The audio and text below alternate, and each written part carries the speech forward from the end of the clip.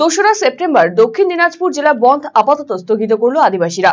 রবিবার জেলা পুলিশ প্রশাসনের সাথে বৈঠকের পর এই কথা জানায় United Forum for All Adivasi organisation.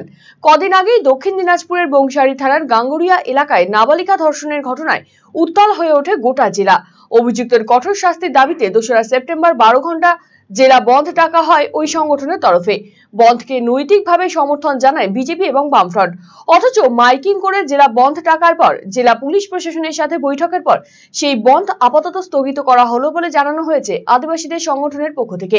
Bharat জাকাত মাঝি, পরগনা জেলা পরগনা অরুণ কুমার হাসদা জানিয়েছেন, সোমবার রবীন্দ্র মুক্ত বিদ্যালয়ের পরীক্ষা রয়েছে। সেই পরীক্ষায় যাতে কোনো প্রভাব না পড়ে, জেলা পুলিশ সুপারের সাথে জেলার আদিবাসী সংগঠনগুলির বৈঠকের পর বন্ধ আপাতত স্থগিত রাখা হলো। পরবর্তী কোনো দিন এই বন্ধ পালন করা হবে বলে জানিয়েছেন তিনি।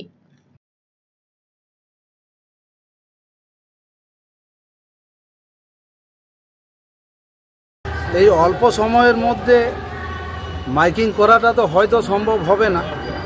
তো যতটা আপনাদের মিডিয়ার সহযোগিতায় এবং আমাদের এই সোশ্যাল মিডিয়ার মাধ্যমে, ফোনের মাধ্যমে যতটা তাদের সূচনা প্রদান করা যায়, সেটা আমরা ব্যবস্থা থেকে পিছিয়ে যাওয়ার স্থগিত রাখার কারণটা হলো প্রথম হচ্ছে কালকে একটা স্কুল বোর্ডের পরীক্ষা আছে।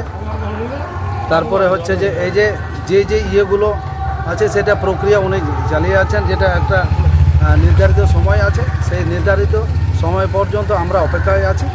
এর পরবর্তীতে যদি সেই প্রক্রিয়াগুলো পুরো না হয় তারপরে আমরা এই পুলিশ পুলিশ বলার পরে কি আপনার বন্ধ থেকে যাচ্ছেন নাকি আপনার ওই পরীক্ষার জন্য মানে নিজেরা থেকেই? না নিজের থেকেই কারণ আপনার আমার সবার বাড়ির থেকেই হতে পারে সেই ক্যান্ডিডেটগুলো এই জন্য তাদের যেন এই পরীক্ষায় ব্যাঘাত না ঘটে। এই দিকটাকে মধ্যে নজর রেখেই আমরা এই সিদ্ধান্তটা বন। কারা কারা ডেকেছেন কোন কোন সংগঠন এটা কোনো সংগঠন থেকে নয় বনটা যেটা ডাকা হয়েছিল আমরাও যখন এই জেলার জেলাবাসী, তো এটা সাধারণ পাবলিক আমজন্ত, জাতি, ধর্ম নির্বিশেষে এরা সবাই মিলে এই যে ধর্ষণ লীলা চলেছে, সিরিয়ালি, এরই বিরুদ্ধে এই বন্ধটা ডাকা হয়েছিল।